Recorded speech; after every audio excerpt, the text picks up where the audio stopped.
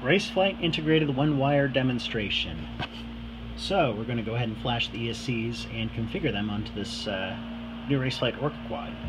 So first step you need to do is make sure your flight controller is plugged in, you connect it to the configurator, and then you're going to go ahead and plug in the battery. Once the battery is plugged in, you're going to click on this button here, Props Off LAD, and it's going to read the ESCs. So we're going to go ahead and flash them. Let's flash ESC number one first. Takes about 15 seconds.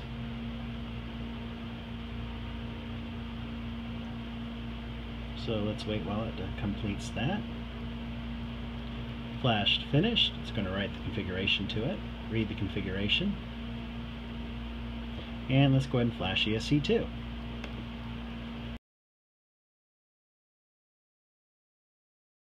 Once the flashing is finished, we can set our other options here. These are the shared settings between ESCs. There's no reason to have these different. So we're going to go ahead and set them like we want. On medium timing on this particular build, damp light, always. Demag comp high, always. It's going to go ahead and write to all four ESCs. Beacon time, I personally prefer two minutes. It's going to write that. All four ESCs. Strength 80 is fine, sort of power 0.75 is fine for the setup. That is how the one wire works.